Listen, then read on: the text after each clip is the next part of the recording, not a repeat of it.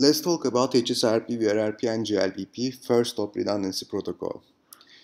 In the bottom picture, you see that there is a layer 2 access design. Since from access to distribution connection is layer 2, and our first hop gateway is on the distribution layer.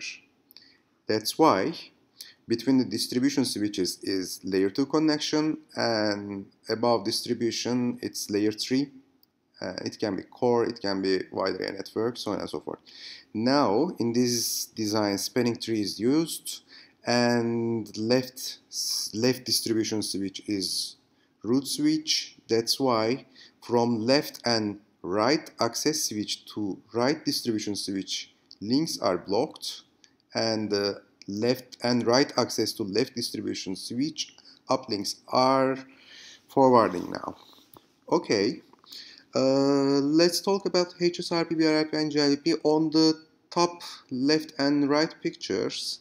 Uh, it just shows us uh, the some features of, of these protocols. Okay, in the right it says transparent default gateway redundancy. What does mean? HSRP and VRRP for the one virtual IP address assign one virtual MAC okay once the uh, host send an ARP request uh, the the gateway will send the ARP response for the active HSRP or active VRRP device.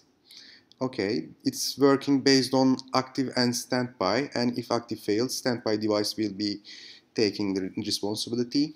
But GLBP is different case GLBP for the one virtual IP address, it will assign more than one virtual MAC and based on the ARP request, the ARP reply may be different. That's why the uh, different set of hosts, they will still use the same virtual IP, but different, since different MAC address, their traffic will be forwarded to different devices. That's why if in this uh, bottom picture, if we are using GLBP, then both device at the data plane will be forwarding but only one device on the control plane will be sending to the ARP request, ARP, uh, the answer for the ARP request, which is ARP reply, uh, works basically like this. And what else? Virtual IP address uh, can also be a real address. From the design point of view, I don't know how it will be important, but IETF standard definitely uh, would be one of the consideration. Maybe business requirement is to have some uh, standard protocol, then you should go with the VRRP. Otherwise, there is preemption enabled by default for the VRRP and not HSRP and GLBP. This also might be important. Why? Let's think about uh, the left switch is spanning tree root and uh, FHRP active.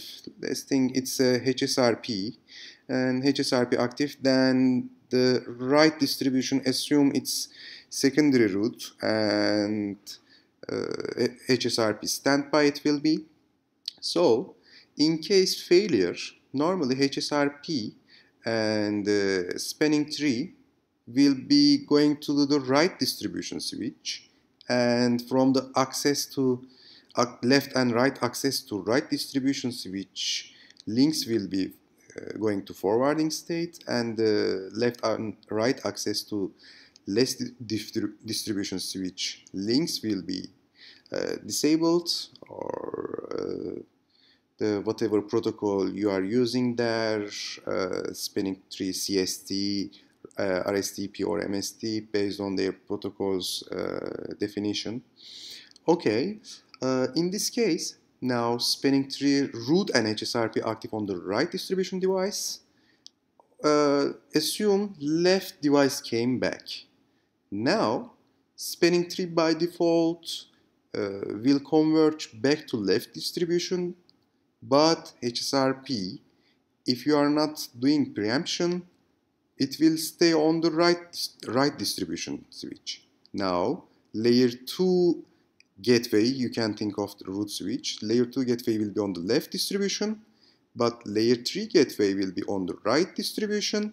So, from access switch, let's say uh, the hosts traffic is coming to left access switch, it will go first to left distribution switch, then it will go to right distribution switch since the layer 3 gateway is there, and then go uh, northbound interface. Obviously, there is a suboptimal traffic here. We want to send uh, directly to the uh, layer 2 and layer 3 gateway on the same device we want and it's uh, also uh, deterministic traffic we will have. It will uh, give us from the troubleshooting point of view it's beneficial. That's why you may want to preemption in this case. But preemption also is actually some downtime you may require for the protocol to converge back. That's why maybe uh, it's trade-off. Anyway, let's say you decided to do preemption. There is also one another factor which is preemption delay. It's it's uh, very important. It's not only even important for the layer 2 to the layer 3 protocols. For the many other protocols actually, this, this is called synchronization and IGP to LDP or IGP to BGP. Uh, one protocol needs to follow another protocol and convergence needs to be sequential. This is important. Think about a spanning tree. Uh, if you preempt HSRP and HSRP already, let's say, uh, went to the left, distribution, but spanning tree still not converged, left distribution switch is not uh, root switch yet, so will be really a weird case there. So that's why you want to preempt HSRP after spanning tree converged. That's why on the preemption delay you can give uh, based on your work you will understand that my spanning tree converge let's say uh, based on whatever protocol by the way uh, as we said before CST, RSTP or MST my spanning tree converge within 10 seconds okay let me add preemption delay 10 seconds this might be important what other thing? Maybe uh, uh, hello timers uh, from the design point of view also might be important. Uh, many of these protocols support fast hellos, uh, although fast hellos is not a good idea overall, since it's uh, processed at the general CPU. So you may want to check maybe BFD you may want to use there bidirectional forwarding detection. Uh, many of the uh, platform actually support it on the hardware hard hardware offload uh, maybe there. So you may want to consider on the left one uh, do we have any consideration for the uh, maybe yeah track interface preemption based on the interface might be. Uh, what else actually for the HSRP, VRRP and GLBP compression. HSRP and VRRP basically we do odd and even VLAN separation. Like uh, VLAN 1357 okay left distribution switch I want to HSRP active and 2468 I want right distribution active and basically uh, earlier what we said as well uh, layer 3 HSRP needs to follow the spanning tree root so if I want left uh, for set of VLAN, okay, 1357, uh, left distribution switch is if HSRP active, then root switch also uh, should be there. And for 2468, right distribution is FHRP active, so root switch for those VLANs will be on the right distribution switch. Okay, in this case, it, for the uh, VLAN 3, let's say, HSRP active on the left switch and spanning tree root also is left distribution switch, right?